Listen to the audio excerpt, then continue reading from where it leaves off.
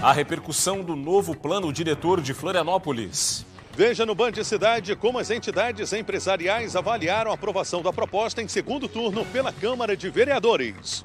Presos de novo. Polícia Civil prende pela segunda vez integrantes da célula neonazista que haviam se reunido em São Pedro de Alcântara. Vendas do varejo. IBGE aponta alta no comércio catarinense em fevereiro.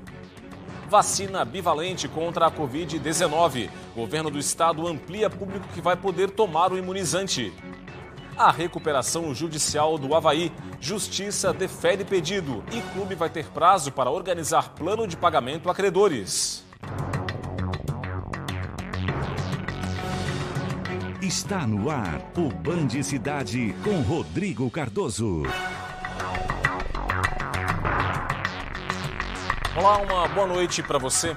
O Band Cidade começa hoje com o número de inventários e divórcios realizados em cartórios, que cresceu mais de 27% entre 2020 e 2022. Além da desburocratização dos processos, a medida promoveu uma economia de mais de 93 milhões de reais aos cofres públicos. A descentralização dos processos permitiu que a população tenha acesso aos serviços de maneira simplificada. Para especialistas, o aumento é uma evolução natural do fenômeno chamado desjudicialização, com a retirada de atos que só podiam ser resolvidos na justiça. A partir do ano de 2007, né, entrou em vigor a lei que permitiu que os cartórios extrajudiciais passassem a realizar os inventários de divórcios. Nesse inteirinho houve uma evolução agora em Santa Catarina, né, que permite também que os menores, também quando envolver menores e incapazes, os inventários também possam real ser realizados em cartório. Mas é importante ressaltar que o, o, o tabelião só vai lavrar o inventário se todas as partes estiverem de acordo, né, não houver litígio, para que eh, possa ser feito o inventário de acordo com o que está combinado e estabelecido entre as partes. A medida garante maior rapidez e um custo menor para que os processos sejam resolvidos. Atualmente, um divórcio ou inventário pode ser concluído em um prazo médio de até 15 dias. O movimento levou a um aumento de 56% no número de divórcios em cartórios de notas entre 2021 e 2022, quando comparado aos 14 anos anteriores. Já nos inventários, foram quase 30 mil processos no mesmo período, totalizando um aumento de 113% em relação à média. Segundo o Conselho Nacional de Justiça, a medida permitiu uma economia de mais de 93 milhões de reais em gastos com o judiciário. Em Santa Catarina, a desburocratização dos processos garantiu uma economia de mais de 430 milhões de reais nos últimos 15 anos. Naturalmente, a, a, questão da pandemia influenciou bastante a, a, evolução desses números, né? mas principalmente também a facilidade com que as pessoas têm para realizar o inventário e o divórcio no cartório extrajudicial, principalmente em relação à celeridade e agilidade com que os atos podem ser concluídos. Você lembra do caso do grupo neonazista ligado a uma organização internacional que foi preso após se reunir em um sítio de São Pedro de Alcântara, na Grande Florianópolis, não é? Bom, todos haviam sido soltos, mas agora voltaram a ser presos preventivamente por decisão da Justiça. A decisão de prender os 10 integrantes foi do desembargador Hernani Guetem de Almeida, do Tribunal de Justiça do Estado. O magistrado entendeu que os 10 criminosos são integrantes de uma organização que promove discursos de ódio, racismo e idolatria ao nazismo. Além disso, todos seriam membros de uma organização internacional fundada nos Estados Unidos. Segundo a polícia, a prisão deles ocorreu ao longo da semana passada, em locais distintos. Cinco foram presos no Rio Grande do Sul, três em Santa Catarina, um no Paraná e um em Minas Gerais. Em uma das prisões, os policiais apreenderam farto material relacionado ao grupo. Os dez respondem a um processo por pertencerem ao grupo skinhead neonazista transnacional. Os criminosos se reuniram em novembro do ano passado em um sítio de São Pedro de Alcântara, na Grande Florianópolis. Na ocasião, uma operação da DEI que prendeu oito em flagrante e apreendeu farto material de apologia ao nazismo e de incitação violenta, além de adagas, canivetes e munições. Outros dois foram presos em Caxias do Sul, no Rio Grande do Sul. No dia 11 de abril, todos haviam sido soltos por decisão da vara criminal da região metropolitana de Florianópolis. E o Grupo Especial de Combate ao Crime Organizado, o GAECO, deflagrou hoje duas operações em Santa Catarina: a Operação Vaga Certa e a Fim da Folia. A Operação Fim da Folia cumpriu dois mandados de prisão temporária e nove de busca e apreensão expedidos pelo Tribunal de Justiça do Estado. A ação apura fraudes em licitação que envolvem agentes públicos municipais e também pessoas ligadas a uma empresa que participou da concorrência para a promoção de eventos, exploração e realização do carnaval em uma cidade do oeste do estado. Os envolvidos podem responder ainda por organização criminosa. Já a Operação Vaga Certa cumpriu quatro mandados de busca e apreensão nas cidades de Laurentino, Ibirama, Salete e São Bento do Sul. As investigações apuram supostas fraudes em concurso público da cidade de Laurentino para provimento de cargos efetivos na Câmara de Vereadores da cidade. As provas ocorreram no ano passado. Segundo a investigação, dois candidatos ligados a um agente público teriam sido beneficiados. O GAECO também apura fraude na licitação que escolheu a empresa organizadora do concurso.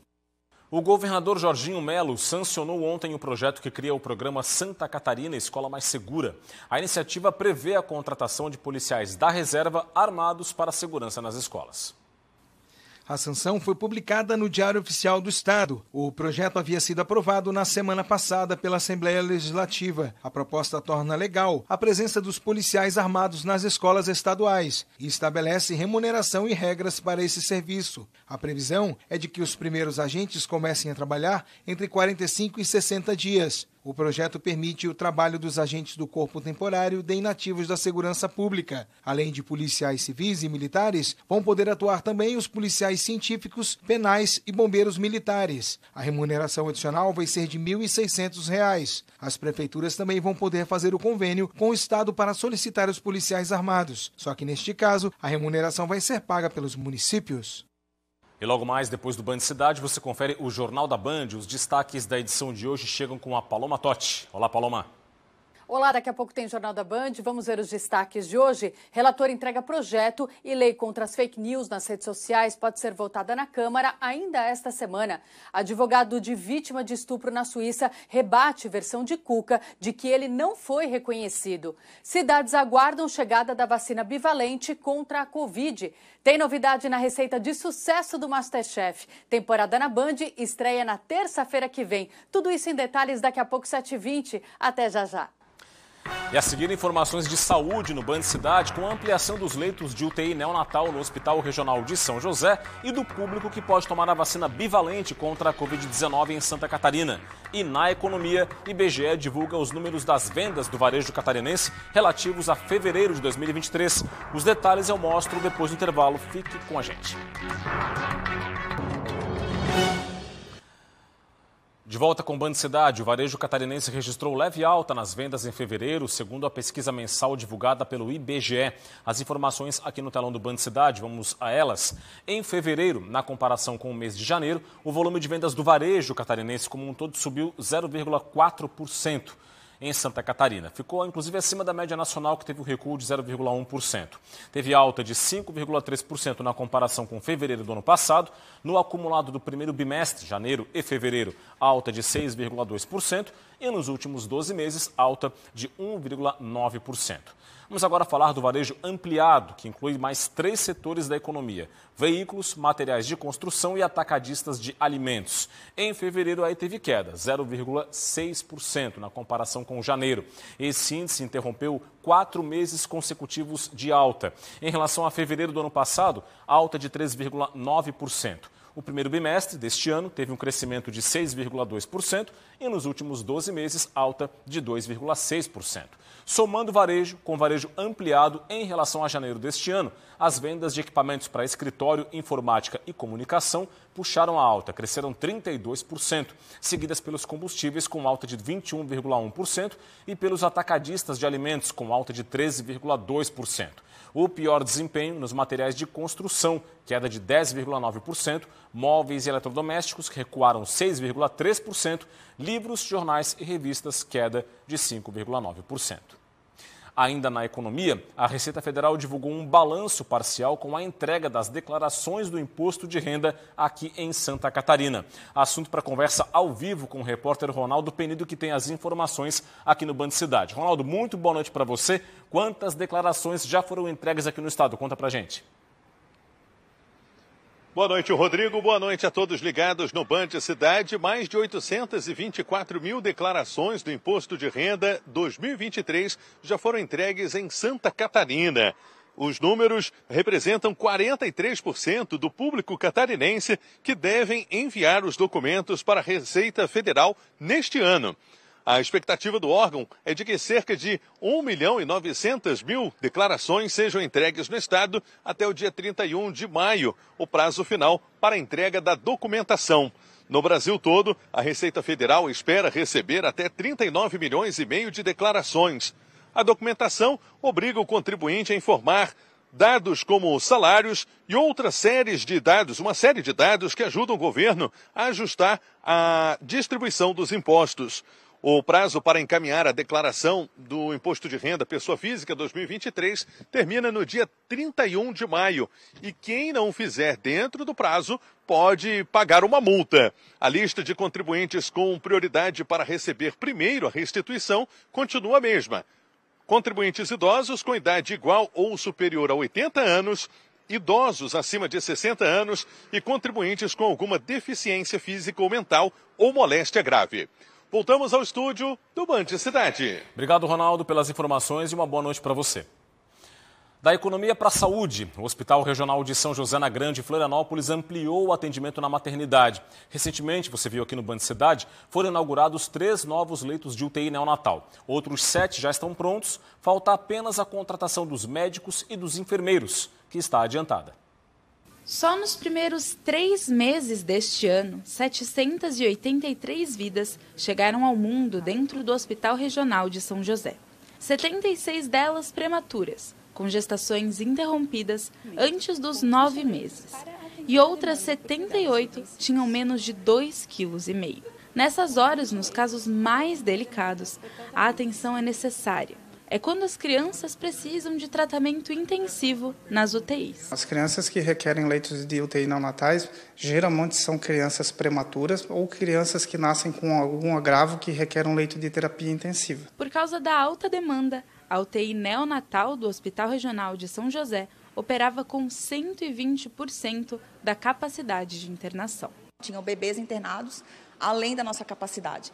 E como a gente já existia esse espaço que a gente poderia montar e abrir uma nova sala de UTI, assim foi feito. Né? Há 10 anos a gente vem tentando fazer essa abertura, então para a gente é, é, acaba sendo uma, uma vitória essa abertura para conseguir dar esse suporte né, para esses pacientes que necessitam desses leitos. Na última semana foram inaugurados três dos dez novos leitos de UTI neonatal. O Hospital Regional vai dobrar a sua capacidade de atendimento com 20 leitos para atender a demanda por tratamentos intensivos. A gente vai, é, vai ter uma unidade com 20 leitos de UTI neonatal e mais 10 leitos de cuidados intermediários. Para operar esses novos leitos, o Hospital Regional aguarda a contratação de mais profissionais. Em grande parte da equipe já foi contratada e estava sendo capacitada. Outra parcela ainda está sendo contratada, então gradativamente a gente está ampliando esses leitos. Então, com essa ampliação, a gente pretende dobrar o número de leitos. Então, com isso, a gente consegue trabalhar de maneira também mais segura e ofertar também para a região mais leitos de UTI não natais. E por falar no Hospital Regional de São José, a unidade bateu recorde histórico de cirurgias ortopédicas. Foram 344 procedimentos só no mês de março um aumento de 16% frente às 295 cirurgias realizadas em março do ano passado. O hospital, que é referência em ortopedia, passou por uma reorganização estrutural para atender a demanda que tem crescido a cada ano. Em 2020, houve uma média mensal de 256 procedimentos. Em 2021, já aumentou para 276. E em 2022, foram 288 cirurgias por mês. Ainda na saúde, a gente fala da vacina bivalente contra a Covid-19. O Estado ampliou a faixa de público que vai poder receber o imunizante. A ampliação veio após uma recomendação feita pelo Ministério da Saúde.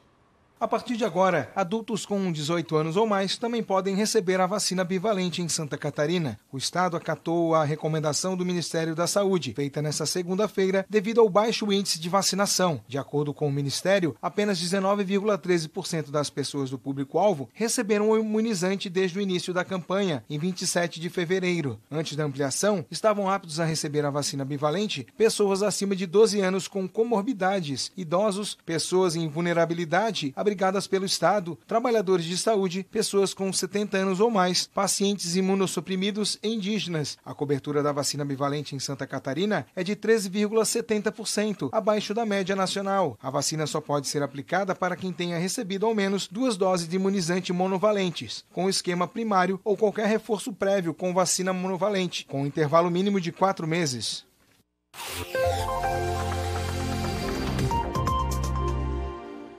A frente fria se afasta de Santa Catarina e dá lugar a uma massa de ar mais frio. Resultado, o tempo vai dar uma firmada aqui no estado. A quarta-feira ainda vai ter variação de nuvens em Santa Catarina, com chuva e até risco de temporais localizados na faixa leste do estado. Mas com a chegada dessa massa de ar frio, o tempo melhora a partir do dia, no decorrer do dia, a partir do extremo oeste e do oeste do estado e até também do norte. Para as outras regiões, essa melhora ocorre mais para o fim do dia. E com a chegada dessa massa de ar mais mais frio e seco, as temperaturas vão o quê? Diminuir em Santa Catarina. Vamos a elas. Vamos dar uma olhadinha aqui na capital do estado. A mínima vai ser de 18 e a máxima de 25 graus. Em Joinville, variação entre 20 e 26. Em Blumenau, mínima de 15 e máxima de 24. Vamos virar a página. Criciúma, no sul catarinense, mínima de 16 e máxima de 25 graus. Em Lages, variação entre 13 e 19. E em Chapecó, no oeste catarinense, mínima de 14 e máxima de 20 graus. A seguir, tem esporte aqui no Band Cidade, com destaque para o pedido de recuperação judicial do Havaí, que foi aceito pela Justiça. Os detalhes depois do intervalo, eu volto em instantes.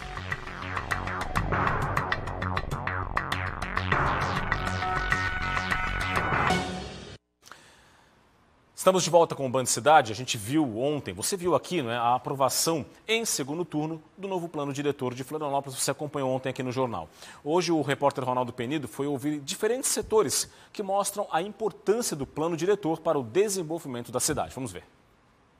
O texto que foi encaminhado para a sanção do prefeito estabelece 10 pilares para o desenvolvimento sustentável do município, que viu a população aumentar em mais de 100 mil habitantes nos últimos 12 anos. O novo plano diretor vai estimular o crescimento dos bairros por meio de zoneamentos, além de permitir o uso de imóveis residenciais também para fins comerciais. Uma das nossas lutas grandes foi que o imóvel pudesse mudar de uso. Às vezes um prédio que o térreo é loja, mas em cima vários várias escritórios é, fechados, não tem ocupação, para que esses escritórios possam se tornar residências e a gente possa tornar é, dar estímulo, por exemplo, aqui no centro histórico, porque mais pessoas venham morar aqui para a gente poder fazer uma área mista mais forte, fazer com que o centro histórico possa ter vida. Com a revisão do plano diretor, vai ser possível renovar a legislação de acordo com as necessidades da população.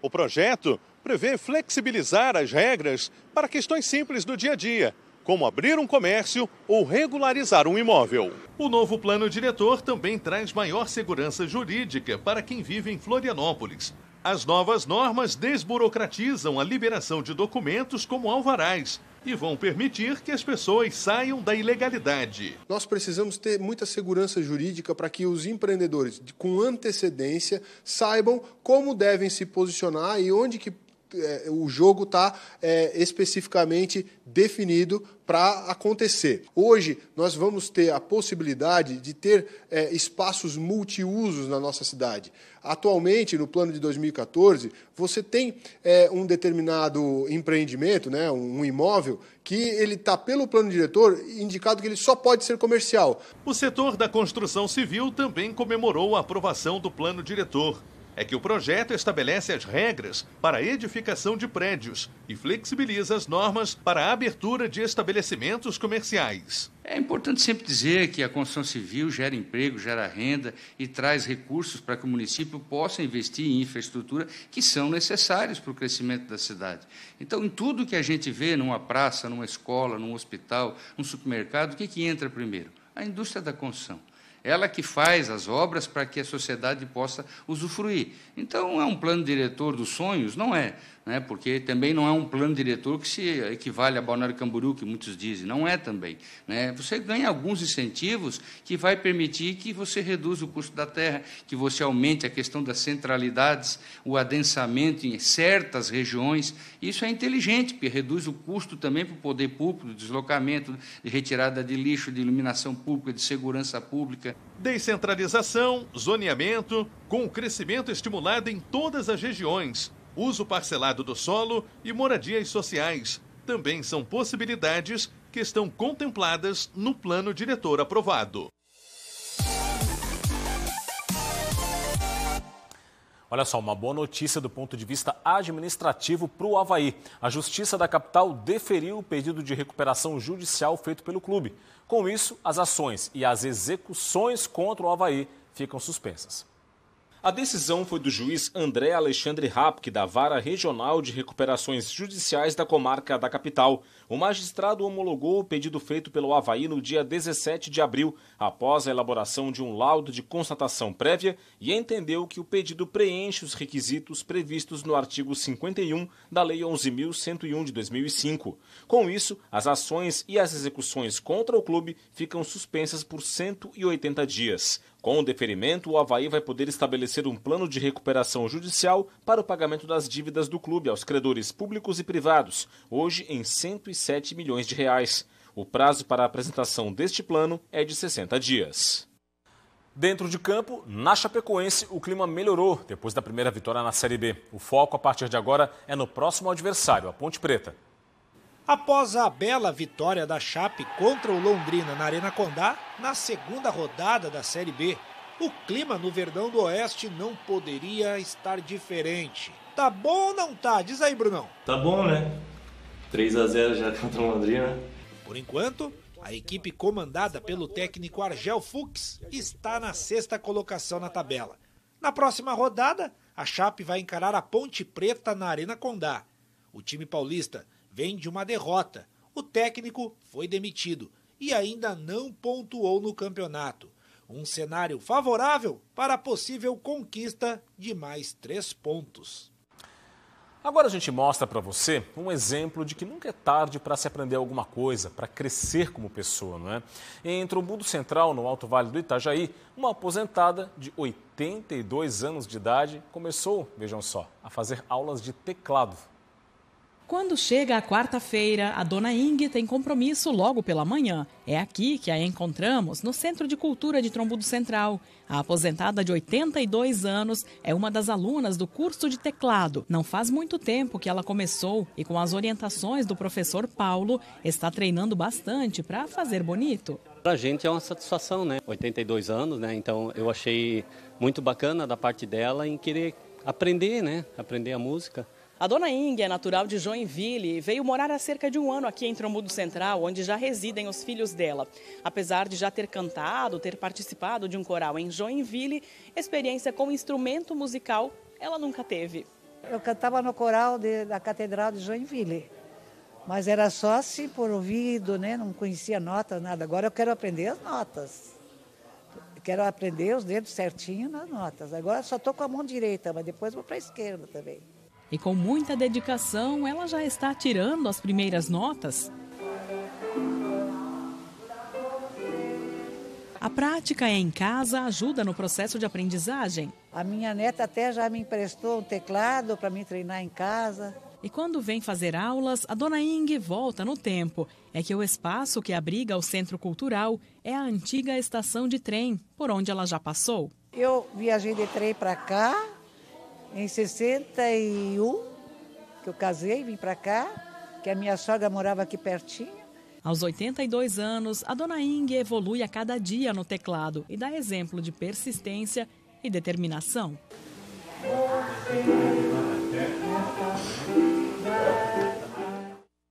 Nada mal, hein? E é isso, ficamos por aqui com o Band Cidade de hoje. As reportagens estão no nosso portal, tvbv.com.br. Acesse, aponte a câmera do seu smartphone para o QR Code que está na sua tela. Vem aí o Jornal da Band. Para você, um forte abraço, muito obrigado pela audiência, uma boa noite e até amanhã. Tchau, tchau.